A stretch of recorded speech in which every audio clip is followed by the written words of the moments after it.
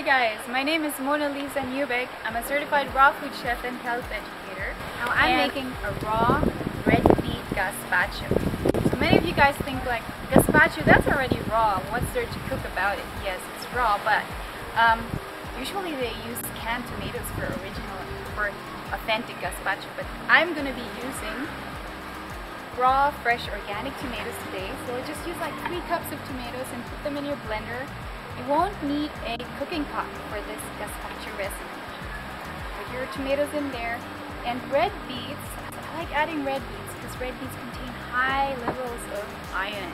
And many of us women have iron deficiencies, especially in this particular time of the month.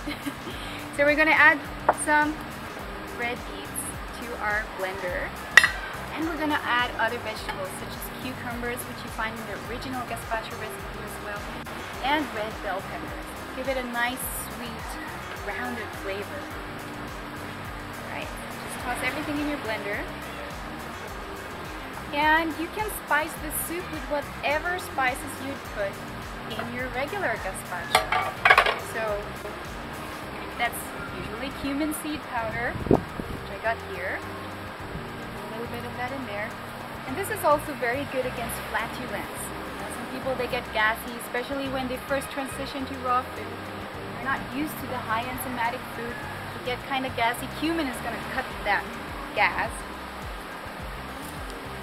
And we're going to put um, garlic, fresh raw chopped garlic in there. It's nice and pungent, and garlic is also a natural antibiotic. And we're also going to add one to two tablespoons of onion powder. You can put fresh onion in there if you want. Although I find onion powder works really well because in terms of flavoring, it's almost like a natural MSG. Of course, we're not cooking with MSG in raw food cuisine because we're not going to put any neurotoxins in our food.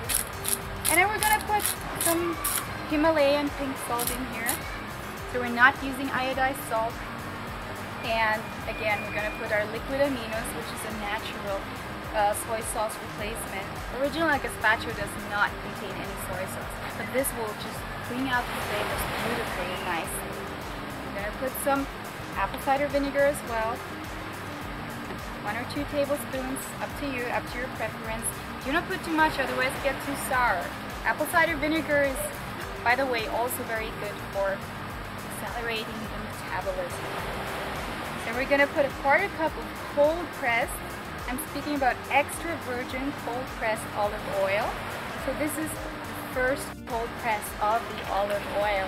If it doesn't state first cold press extra virgin, it means that it's probably the second, the third, or the fourth press, and probably even expelled under heat, which turns the fat into trans fat, including olive oil. So don't cook your olive oil, but drizzle it on your food after the cooking.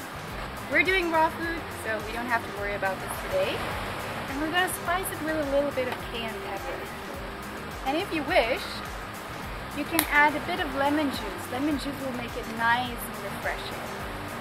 This is not in the original recipe. This is uh, like adding coconut sugar. I'm gonna add a little bit of sweetness to this.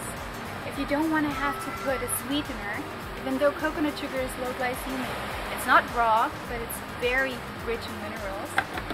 If you do not want to add a sweetener, you might as well add half a ripe mango in, uh, to your soup. It's going to sweeten it naturally. All right. Good. It's yummy to me. So it's liquefied, but it's not too smooth. Just the way I like it. And you put this in a nice serving soup bowl. And then we're going to add a couple of toppings on top. Make it look pretty and to add a bit more texture to the soup.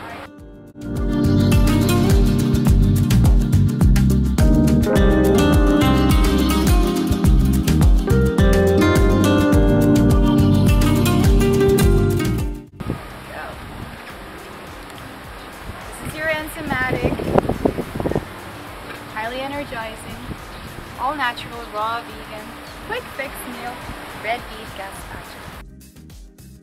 Bye.